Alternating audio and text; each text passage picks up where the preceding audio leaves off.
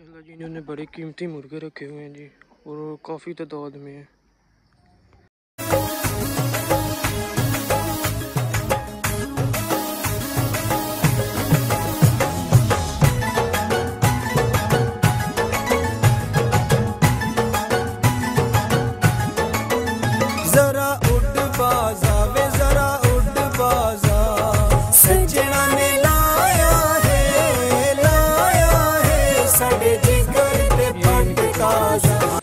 इधर इनका डेरा है। वो थोड़ा बहुत आपको चेक करवाएँगे।